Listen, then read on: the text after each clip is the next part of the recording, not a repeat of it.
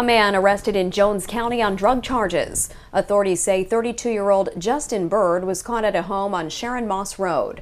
Bird allegedly had an indoor mushroom grow operation and a Schedule 1 narcotic.